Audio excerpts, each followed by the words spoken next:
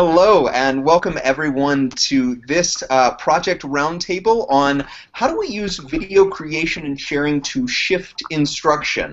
Uh, today we're going to have the opportunity to really have a, a great in-depth conversation around using video in the classroom or throughout the school um, to empower uh, students and teachers to have more voice um, and to really expand uh, and deepen the learning, both for the teachers to shift their own practice and for students in order to shift the, their practice of learning. And so um, I'm really excited to uh, to get going with a, a, number of folks, and we should have a few more uh, joining us as we start.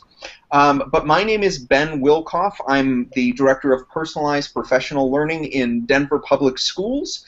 Um, and what I would like to share, and I'd like everybody else on the roundtable to share, is a story of how they have seen video shift practice. Whether it's for teachers or students, how have they seen video actually do that work where it wasn't just, hey, I threw together this thing and it now is on YouTube and it's been seen by 12 people.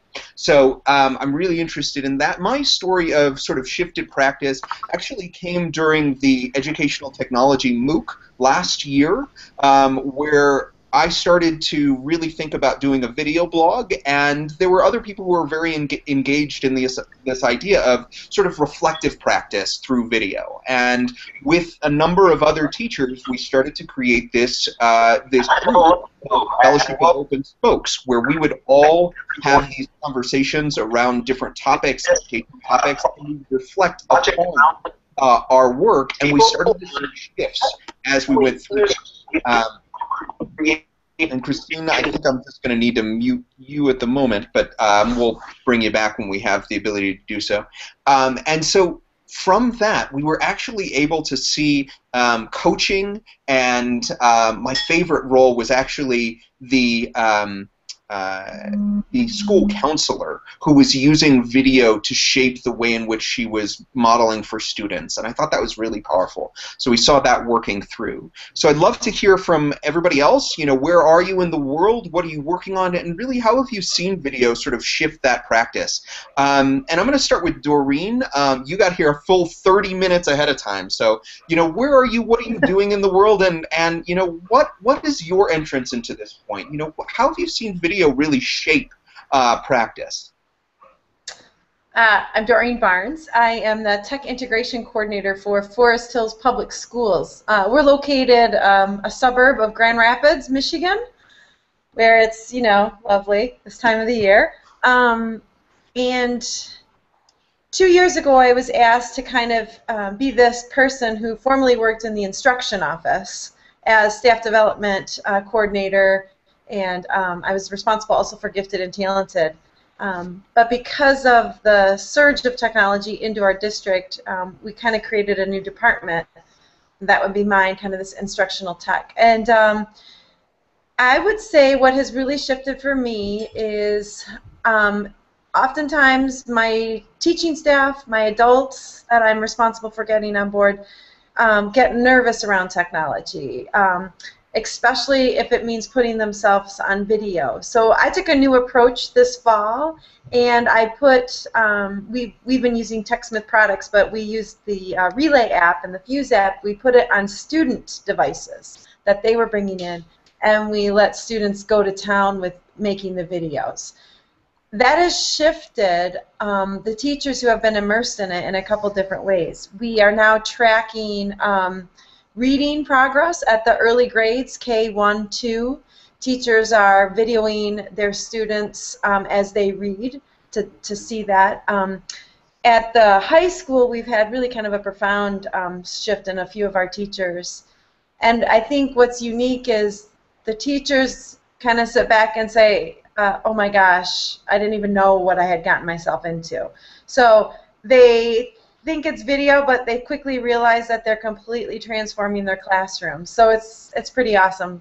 So I. I think that point actually is really important that they don't know what they're getting into and that when you are looking at video as more than just this five minute thing that i watch cute cats on, on youtube about like that there is so much that's possible within it right but i don't know what i'm getting into and so i think at some point in this conversation i really want to hear from some folks who are who are using these tools and thinking about well what is your suggestion then so that they do know what they're getting into so that they do see the power of what's possible and, and those kinds of things. Before we go on to the next person, um, I'd actually like to do a little bit of housekeeping here. So we have a collaborative document that we always use to take notes and to um, to get in contact with one another, both, both before, during, and after the session, um, and and to do some reflection. So if you want to go to uh, bit.ly slash video roundtable, that right there is our collaborative notes document. The notes portion is all the way down at the bottom. Um, you can also use hashtag video roundtable on Twitter, which will allow you to take part um, within sort of the, the Twitter sphere where we're talking about these different things. I'm really excited to you know hear what people are thinking about in that space. Um, and just you know keep on collaborating as we go. There are a lot of things that you're going to hear that we're not going to hear, and sort of vice versa. We'll try and call out some of the important points, but it's always going to be more beneficial if you are reflecting as as you go. Craig, thanks so much for joining us. Um, if you do get a chance to turn on your uh, lower third, you can ask people in the chat how to do that if you're not familiar. Um, but please do that so everybody knows who you are. And then I'm going to come to um, actually Crystal next. Um, so it looks like you muted yourself. If you'll unmute, who are you? What are you working on? And how have you seen video shift practice?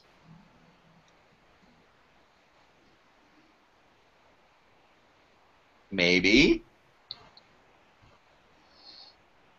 What do you think? I'm giving my teacher wait time now. All right, Ralph. I'm going to give it to you, and then we'll come back to Crystal.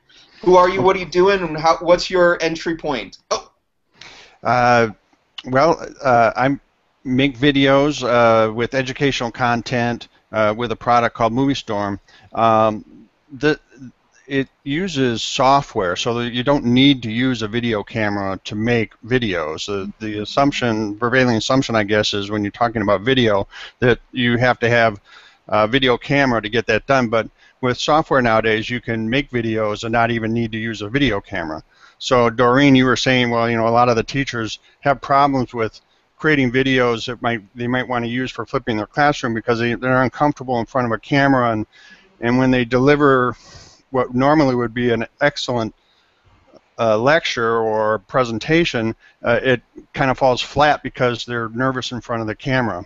So with uh, using software, you don't need to video uh, the lecture. You can create the video um, through the software and avoid that. So that lowers the barrier to entry. Um, well, and I think that's actually really important the idea of lowering the barrier to entry. And a lot of our tools now are sort of solely focused on lowering the barrier to entry, right? Like, we realize how powerful video can be only if you get to the point of actually creating something, right? So, Right. you're talking about creating video through the ability to, to almost um, sort of take the perhaps the voice and um, yeah, and you use the voice. The the human voice or or the the human face out of it to lower the barrier to entry. And MovieStorm is one of the ones that allows you to just type, right? No, Mo- MovieStorm uh, doesn't do the typing uh, text to speech. Uh, you use the person's voice. Oh, okay. Uh, they have like an iPad app that's ten dollars. So those of you that, that like to use iPads, um, you could uh, record, or somebody could record uh, the, a live lecture, and then you just take that audio file uh, and you load it into MovieStorm, where you create an avatar. That avatar could be designed to look like the teacher, if you wanted to do that, or if you wanted to make the avatar look like a uh, a, a historical figure. You know, somebody could could uh, uh, recite a famous uh, speech or poem from a historical figure, and then the avatars automatically lip sync the the speech To the So to the the- audio. And to the audio. I think that's an interesting point around almost the idea of characters within video.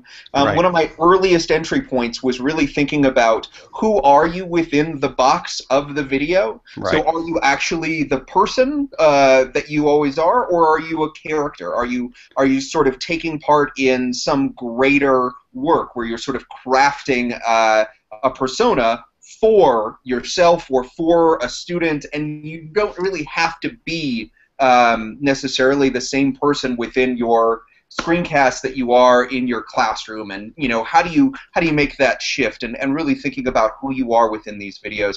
Um, thank you so much tj for joining us. I really appreciate it. Um, right now a couple of folks uh, don't yet have their um, uh, their lower third on. If you want to try and turn it on it's just in the hangout toolbox app which is on the left hand side. You click on that and then if you enable it there's a setting for lower third. It looks like a, a person with a circle around it and you can do that. Um, thank you so much ralph for that. Uh, christine i'm going to go ahead and uh, hopefully we can unmute you um, and we can uh, really start to uh, to hear where you're coming from and and what you're thinking about. So i think we can get that to work um, that you'll be able to sort of say, you know, how have you seen um, video really transform uh, practice? And I'm trying desperately to unmute you. Should we try? Should we try? Oh, it looks like you are now self-muted as as well. So I want to make sure that um, see if you can turn that off. It's a beautiful smile. That's my favorite part.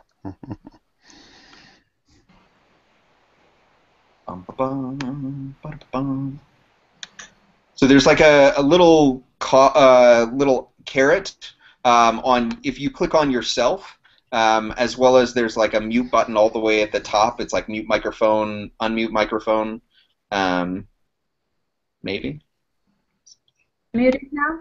Woohoo! Okay. um, I'm a teacher in Pasadena ISD, which is in Texas. Um, I'm also a mentor for our new teachers that come into our school district. And we've been using video in order to video master mentors as well as new teachers so that they can improve their practice, so they can see kind of how their management is working. Uh, they can see good practice from mentors.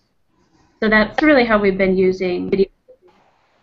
And so you're using it in a very different way. It's really not so much teacher creation or student creation. It's really thinking about the classroom environment, really sort of view, viewing the the classroom as sort of the stage almost uh, for the for the videos. And so, how have you seen those videos actually impacting the teacher that you're videoing? Um, at first, they're very nervous. They are worried about seeing themselves on a video, but they realize quickly that, that they've missed things in the classroom. Like one half of the classroom they may not have focused on, or the kind of questions that they were asking to the students, they're able to reflect.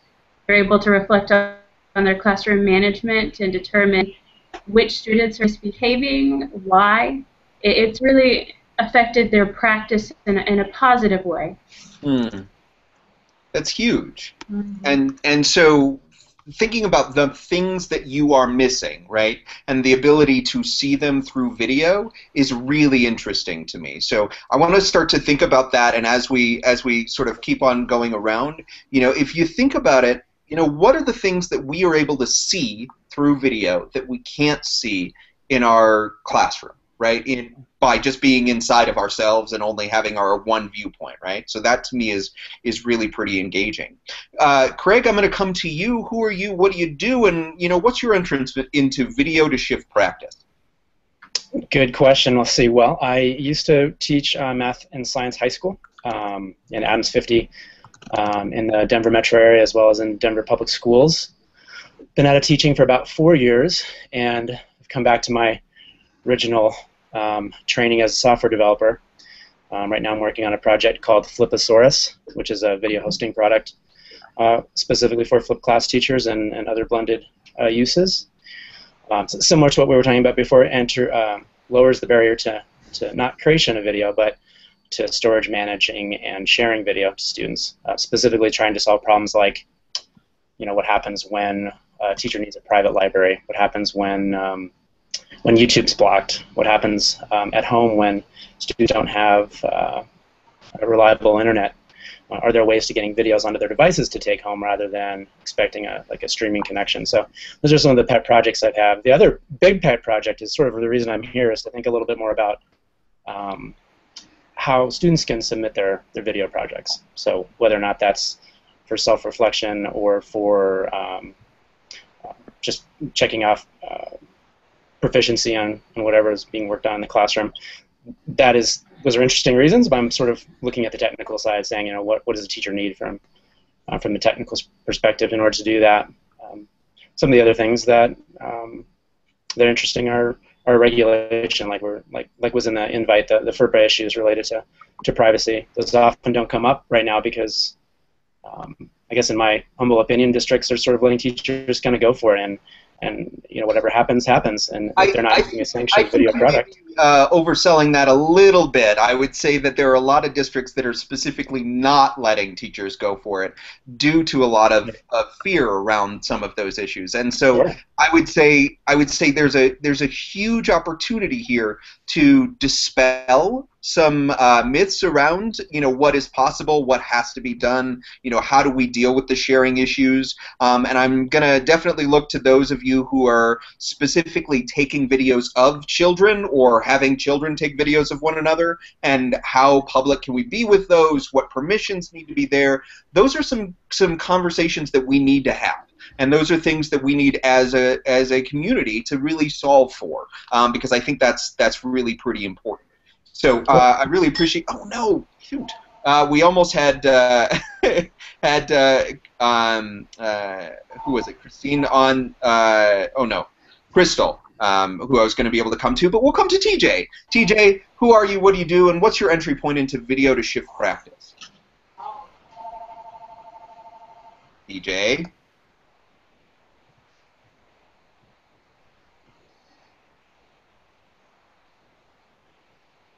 What do you got, man? I can come to Anne. I see your face. It's going back and forth. Oh, almost. We're almost there. Think there may be a speed issue. Hey, Anne, are you there? All right. Well, we're trying to solve some uh, technical points. Um, I do have a question from Christian. She's asking about Movie Storm. Ralph, um, is it the moviestorm.co.uk that you're talking about? Yes. Sweet. Um, that's definitely a, a tool um, that we are using. And uh, in the, the notes document, would you guys um, start to put in some of the tools that you were using for this? Um, I know Doreen had mentioned uh, Relay from TechSmith. Uh, Craig, obviously you use um, Flipasaurus as well as a number of other tools. Um, and Doreen is asking where the uh, the notes are. It's bit.ly slash video roundtable, and uh, the hashtag on Twitter is also video roundtable, so you can uh, post the link there um, as well as in the, the Q&A and what have you. TJ, how are we feeling about our audio right now? Not so good, I don't think. Anne? All right, Christine. So, how do you deal with these issues of uh, of permission? Like, do you just get this huge like acceptable use policy that you make everyone sign and their mother, and and then just go for it, or what? Um, well, I'm a teacher. I'm not with. I'm I'm not in a district position. Uh, but our mentoring department has used that, and right now they're exploring what to do as far as FERPA and, and the regulations in that area. Um, but our videos now are not being posted on outside websites. It's being posted on an internal platform, which we use SIBME, Seeing is Believing, and we use that as a collaboration between the mentor teacher and the new beginning teacher so that they can conference back and forth and, and, and work together. And so the idea being that you're actually using a tool that is sort of hosting the videos, but also allowing you to collaborate and have conversation about those videos. Is that right? Mm-hmm. Right. And so from the, the creation standpoint, what are you using to sort of create or to capture?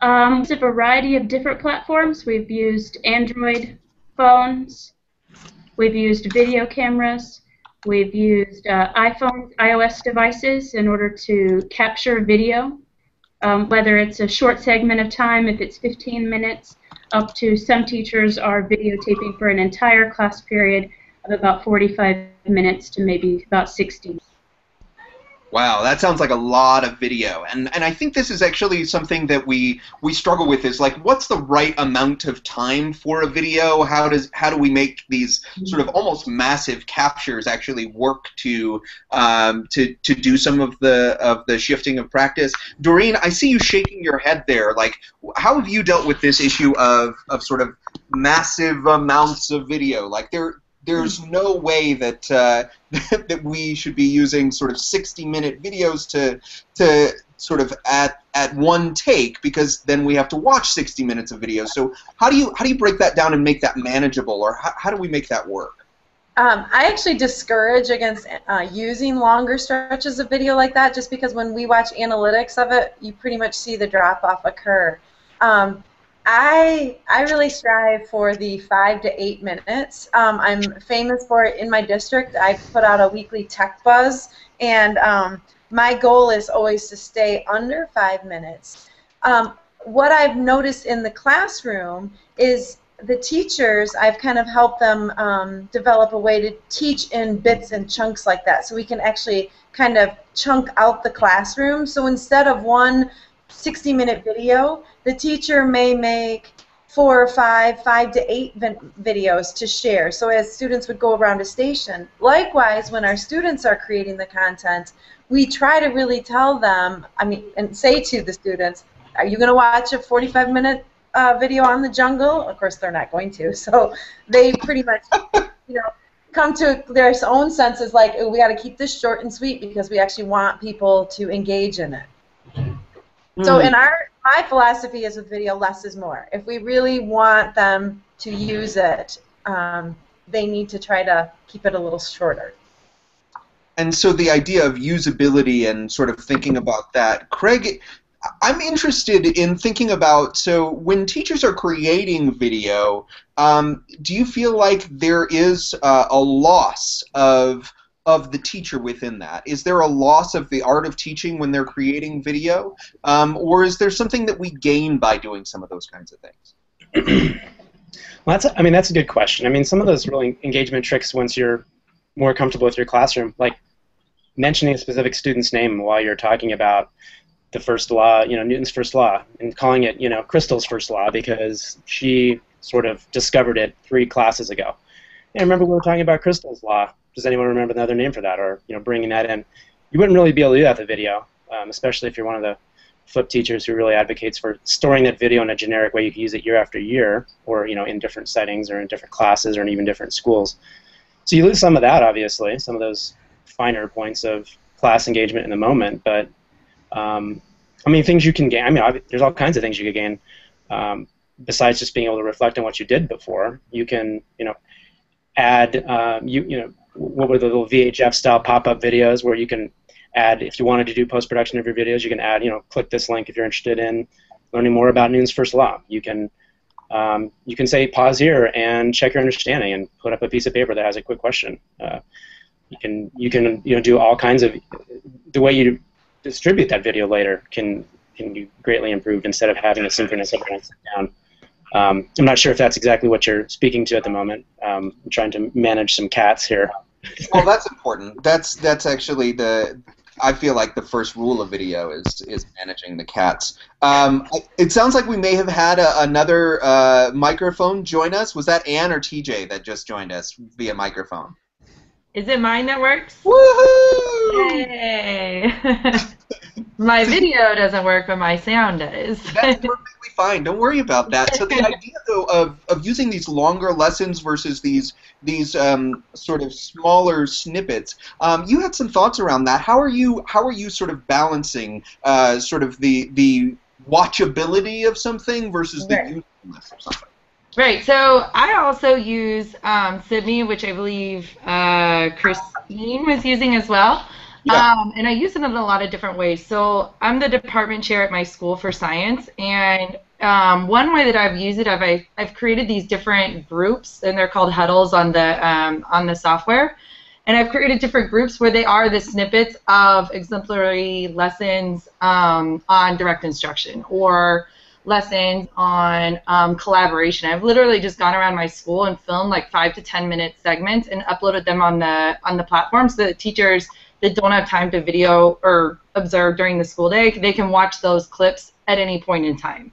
Um, but I also use it for full on um, lessons. We recently did a lesson study um, in my department where we went through the entire planning process with one of our biology teachers.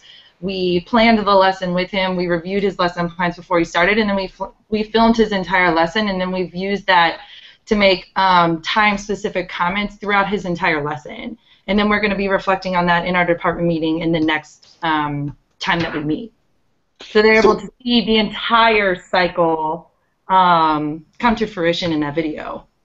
And I think that's actually really important. Like the the concept uh, that we lose something by breaking up the the um, the sort of the lesson cycle or, or the entirety of a class Mhm. period into these smaller chunks, um, and you don't see the continuity there.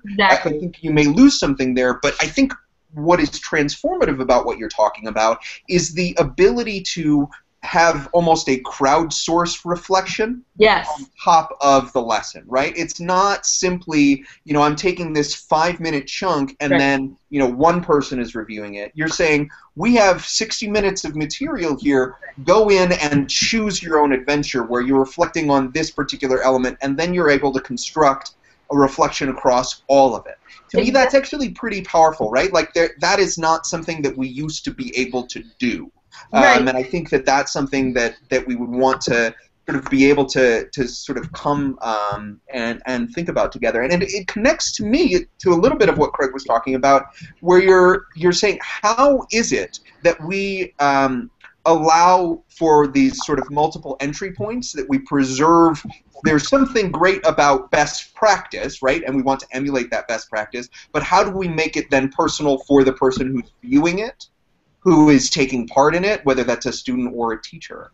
Um, so, Ralph, I want to come to you and think about, um, you know, how is it that that you are starting to uh, to really think about and and and work within these um, what you would say are are perhaps less personal because you don't have the the you know the person's face and things like that. How how would you say that is um, a more effective way of sharing because I'm intrigued because if we're saying that uh, that video can be a lot of different things, right? If you are taking the person out of it, how do we make sure that we are still getting at what eventually would be best practice? How are we making sure that students are are sort of a part of the the equation? Ralph, what are you thinking about? Well, uh, uh, in a sense, you're not really taking the person out of it. Uh, you're using their voice. You're using their content. Um, you can. Uh, the only thing that you're replacing with the person is you're adding an avatar of the person, or um, uh, and it, it also allows the creation of a video that is. Um, uh, you have more control over uh, what you're presenting, so you can uh, add uh, images to the video. You can add quizzes to the video. You can you, wouldn't do the quizzes with MovieStorm. You'd do it with a, a third-party software like uh, Educanon. But you can if you if you um, students like to have the flipped lessons created by their own teachers. And uh, the way that you can do that and still allow the teacher to do it without having a, a live video camera presentation of themselves is to record their voices, and then you have the way the the ability to be able to uh, uh, like you uh, you were saying before, Greg, with uh, like a post production. But it, it, in, instead of having a, a one take video like they describe in in some of the flipped uh, classes uh, lectures, you can create the video on your desktop with an audio file. And to take it one step further, what I'm suggesting is that the software is easy enough to use that the students can learn how to use the software and they can help teach they can help the teacher flip their classroom by producing videos of the teacher's content. Uh, they can use the teacher's voice, they can use the teacher's slides if the teacher has a PowerPoint presentation or something like that, and then they can they can create the video within MovieStorm of the lecture and then it can be published well, and I so I think there are a couple of things that I that we're going to want to come back to. One is what do you do with the video after you're done, right? Like after the teacher or the student has created it or some outside person has captured it. We've heard about a number of platforms to use, and Educanon is one that I don't know that anybody captured yet. So if it's not in the notes, please put it there. But the idea of um, of actually, you know, how do we make it contextual? How do we build on top of the video so that the video may not be the thing? It's the questions that we ask about it. It's the context that we set for it. It's the, right. the way in right. which we use those things. Right. Um, now, this is a question that I'm going to just ask uh, everybody to answer in one word. What grade is too young for students to independently create video? This is from Dana. Ralph? Well, uh, I have an example of a preschool student who created a video using the iPad app, and so it's on it's on no the grade too young. Well, uh, or it was I'm sorry, it wasn't preschool, at primary school. Uh, okay, so, so, somewhere somewhere in the early grades for you. Early grades, right, right. Right, Doreen, what are you thinking? I have kindergarten make videos, so and I'm a K-12 district, so K-12 and up. That's awesome. Crystal, we're going to get your introduction because you're back and you're better than ever. What grade? I would say I agree. K through 12, definitely. Nice. Greg, what do you got? That's a good question. I mean, on Flipposaurus, we've seen videos with kids that look like they're second or third grade, but but it seems like they're doing fine to me. Okay, so second or third grade, that's where you are. Uh, what do you think, Christine? Um, well, I'm not at a school that does one to one, but there are schools within our district that are one-to-one campuses, and I know that they use Flip Classroom. So I'm not as um, used to that, I guess, so I wouldn't know a platform for that. Or would you what grade would be? I mean, from your perspective, would you encourage the use of, of that kind of video for the same level of reflection that you're seeing out of out of teachers? Because I, I know that I'm sort of stretching sort of where you are playing, but I'm, I'm interested in your thoughts around it because I see that it's related, and I don't want to sort of sort of separate the way teachers are using video versus the way students are, are sort of using video. Does that make sense? Mm-hmm. Well, I mean, I next year we are going to be a one-to-one campus, and we are going to be using tablets um, rather than netbooks. But I'm I don't have as much practice yet with the flipped classroom and, and how to use that. So that would be and, well, exactly. Another so, uh, hopefully, you'll be able to collaborate with a couple of folks off of here, and uh, and if you want to, you know, talk with them afterwards as well. And you know, what are you thinking around like what is the age around uh, student-created video for you? Um, I think it's definitely like kindergarten and depending. I'm sorry, there's a bell going in the background from high school. That's um, like maybe a bomb. I, I don't know. um, yeah, that's our warning bell. Sorry about that. Um, I would say as early as kindergarten and depending on like the, I mean, honestly, the motor skills of the preschool student, like I think a preschooler could do it. I use an app called ShowMe. It's on the iPad. I don't know if it's on any other devices, but I know it's on iOS, and it's amazing. It's literally um, an electronic whiteboard where the students can record um, their voices, they can record their writing, they can input video clips, they can input um, um, PowerPoint slides. When I've had my AP kids create, my pre-AP students, I have them like use my slides and they input those slides directly into the app. Um, and then they talk about it and they solve the problems. And then I also have um, or they can also input their own pictures if they take a picture of something. Yeah, and I think that the idea of, of um, sort of allowing students to use teacher materials is actually something that's really interesting to me. So it's sort of building upon something that the teacher has created, um, and then and then sort of creating sort of further knowledge where they're teaching one another. Right. Uh, Crystal, I'm really excited that you came back. So glad to have you. Who are you? What do you do? And what's your entry point into video? Absolutely. Um, my name is Crystal Midlick. I'm an instructional coach in Hampton, Virginia. We're really close to Virginia Beach. It is beautiful outside today. I would rather be outside. um, but I work a lot with teachers, and we've actually really taken on video this year to help teachers reflect on their practice. So, with the individual teachers that I work with, I go in and help them to set up a video recording session of themselves teaching, and then they have a chance to watch that video, reflect on it. We have some different observation forms that we use to help them focus what they want to reflect upon, and then we have some coaching conversations afterwards to really help them move forward with their practice. And it has been awesome to see the teachers really have time to reflect and also to make changes in their practice going forward. Hmm. And so that level of reflection. So, it, so this is something that's obviously very interesting to me around, you know, self-reflection, thinking about using video um, to to sort of speak about what's happening in the classroom. But why is it that video is required to do that? Couldn't I just write down, hey, this is what I saw, and then I'm going to have a conversation with a coach about it? Like, why why is video required for that?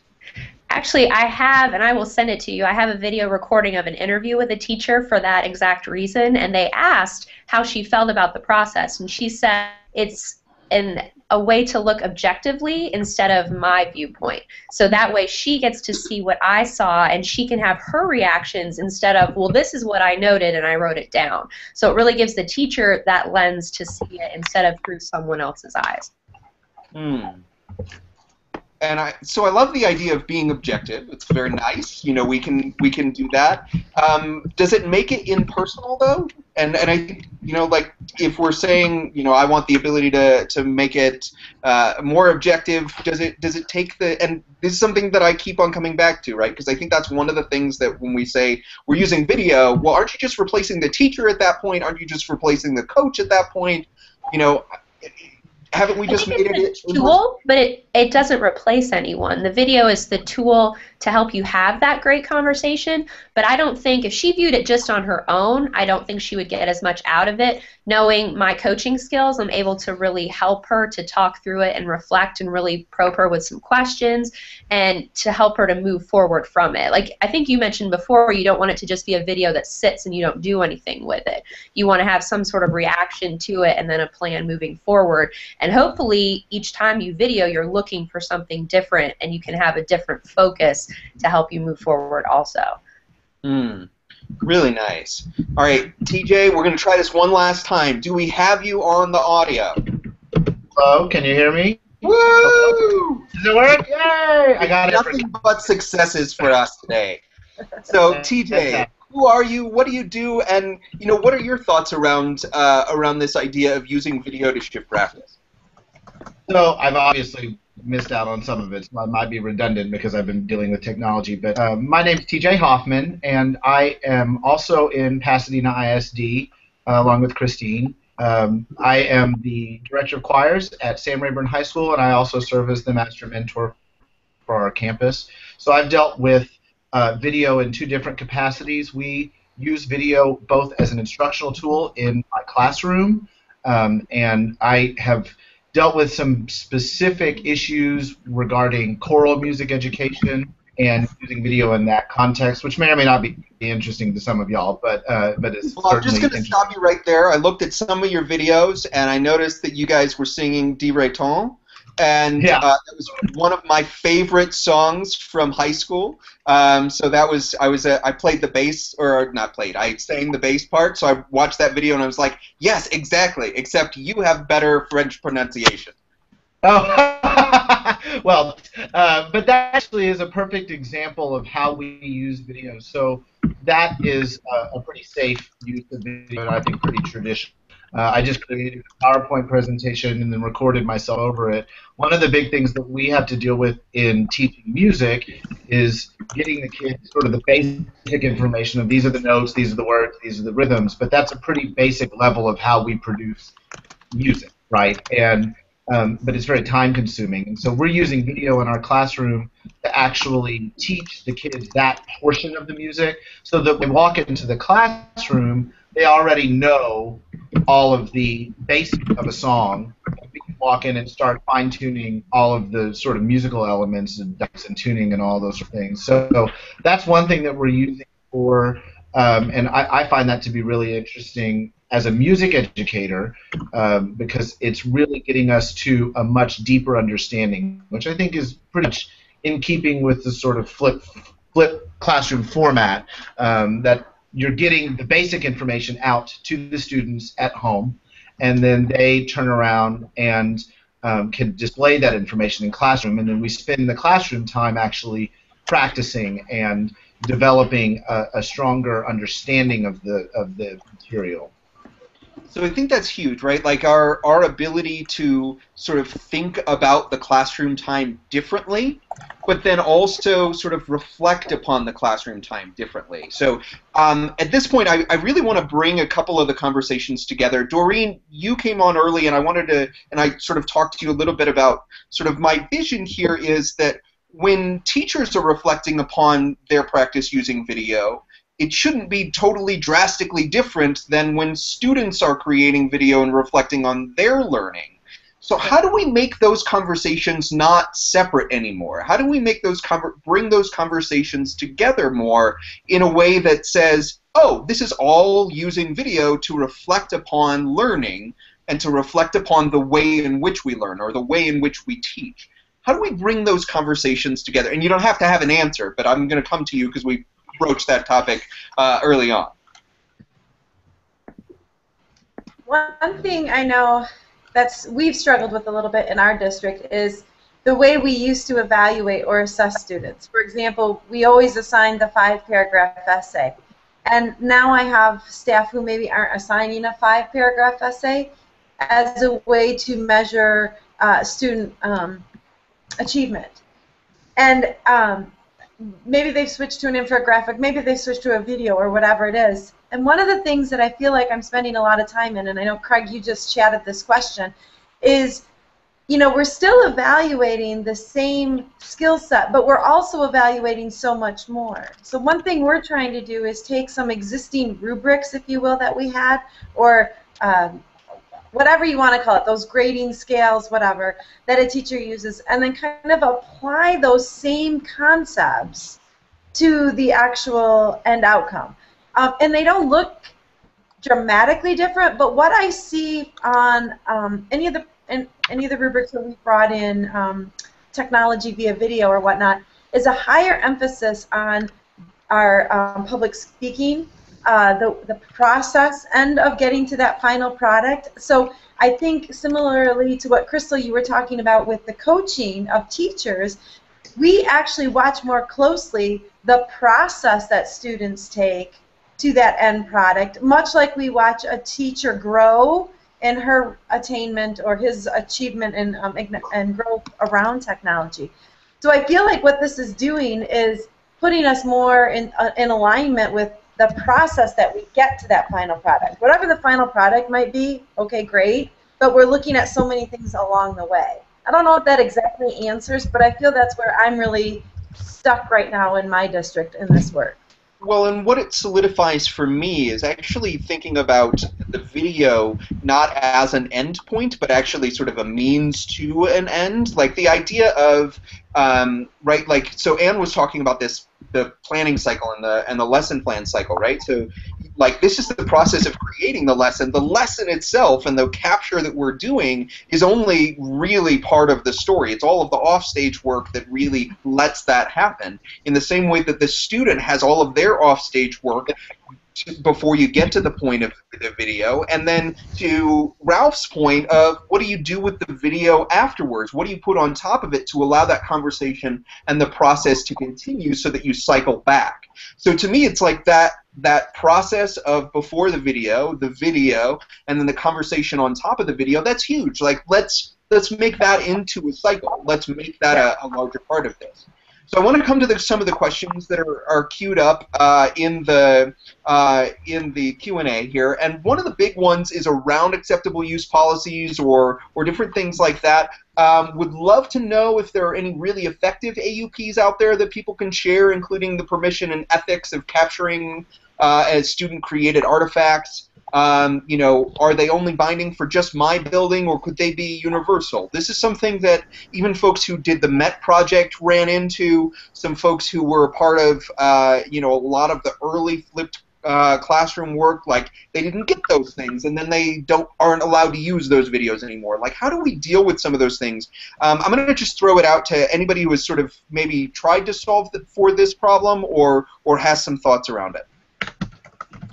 Well, I would think that if you used MovieStorm, you wouldn't have any images of the students or the teachers, and so you would be able to avoid all that. It would really significantly lower your barrier to entry. So I like the idea that we can lower our barrier to entry, but you can't really do the lesson study using some of that kind of stuff. So how would we do like lesson studies, or how would we do some of the uh, because I think you know screencasting is one way of getting around it, and you know there was another question in here around platform agnostic tools. So there are now two different uh, Google Chrome extensions that let you screencast, Screencastify and the TechSmith. Um, um, Snagit uh, lets you do the screencasting using you know your voice and things like that. Right. All of these are Right. possible, but what if we want people's faces? What if we want to see what the classroom looks like? Um, you know, how, how are we solving for that problem? I, I can speak to that. Do it. Okay, so um, the program that I was talking about earlier, SIBME, Seeing is Believing Me.com, um, has created a huge, I, I'm not exactly sure how to explain it, but it's an incredibly secure website um, where all of the videos, even of like, you know, even if you're seeing a video of a teacher or a child or whatever, everything is secure within your school's network. Um, and so it's not like it's being out and about on the internet, like on YouTube or anything like that. And so you're letting the sort of the platform dictate then the sharing permissions. So exactly. the, so I can invite whoever I want. Um, I can block whoever I want. I can block people from. I can prevent people. So th- sometimes people can just view. Sometimes they can comment. Sometimes they can um, add and edit or whatever. Everyone, as the account owner on my account, um, I can dictate what everyone else is able to do in that particular account. and so I love that idea, and and um, or I should say, I love the idea of being able to decide how things, how open things are, right? Yes. And Noreen is also talking about TechSmith Re- Relay, which is another platform for sort of that easy sharing of videos and, and sort of permission based. I know a lot of people are using Google Drive as a way of, of sort of creating uh, layers of sharing permissions and things like that. But I almost think that we may be missing the point of how collaborative and open our classrooms can be if we're not trying to figure out and solve for the problem of open sharing of classroom practice and open sharing of uh, of video. So I'm intrigued by yes, we can create our own walled gardens and that will work, but does that get at our uh, uh, sort of solving for the problem of how we leverage because everybody's essentially everybody is working on this, right? Like everybody's trying to be better teachers and learners. So how do we learn from one another in open ways if we sort of only have our own walled gardens? And that's a question out to everybody. How do we do that? Can you specify a little bit more? Because I feel like I can speak to that, but I'm like, uh, I'm having a hard time processing your question. Can you say that again? So let's say that I believe. Um, so let's say I don't know who I want to share with. Right. I know that there are other teachers and other schools and other districts that could make use of this best practice that we have established here. Uh huh. How do I go about sharing things in an open way so that I don't have to sort of only limit it to who I know? Oh, I see. So in the account on SIBME, you can create um, something called a video library, and you can tag different videos. So like I teach chemistry, so I would tag all my videos as chemistry. And if I had um, something about modeling lab setup. Uh, I could tag it with that also, and then I can invite people to view just those particular things. I could invite them to see my entire video library. I could invite them to a I could create a specific huddle just for them, and I could put videos specific to them into that huddle. So they couldn't see everything on my account, just what I'm allowing them to see in that huddle. So do I have to know them to do that, or can Yeah. I create an open link and then just link to it off of a web page? You, So you have to be a I could potentially. I'm sorry. What? You have to be a part of the SIBME platform. Yes. So they would have to be no. Someone couldn't just Google something and and have access to what you posted in SIBME. right. They would have to already be a member of SIBME to, to have access to it. But anybody who was a member could see it. yes. Okay. So it's it's maybe not a walled garden unto its own district, but a walled garden unto the platform itself. Right. Okay. Exactly. So I'm going to move off of the this topic here, and actually I want to I want to sort of do some some rapid fire um, kind of ideas here. But uh, um, if anyone figures out the acceptable use policy or the permissions, uh, would you just let us know, and uh, and we'll we'll just sort of figure it out uh, uh, together. But I, I do think that that's actually a, an open question, especially if you're if you're looking at how do we how do we have those that are not platform specific um, to uh, to Dana's question, how do we have things that are more platform agnostic um, rather than rather than just looking at it from the perspective of you know I can only do it within here or, or something like that. And I'm obviously there are some platforms that are much better than others uh, at that. Um, so my last question, and this is for everybody, and we'll go around the horn. What is the one thing that you think a student should be doing with video, and the one thing that you think a teacher should be doing with video to shift the way in which they are teaching or learning?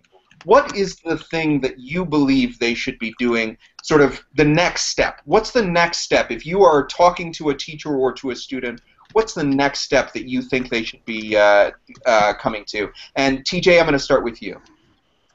So I, I think we've already. The, I think the first step was the acquisition of knowledge and using video for that. And I think the next big tool that we can use video for is as an assessment tool. And I think both from a student's perspective and also from a teacher's perspective, it's the most efficient way to collect a tremendous amount of data for assessment from either students or from teachers if you're training new teachers as a coach. And so I think that the next step, the next place that we can go with using video past this sort of flipped classroom format is to use student uh, use video to collect student data and use it as an assessment tool.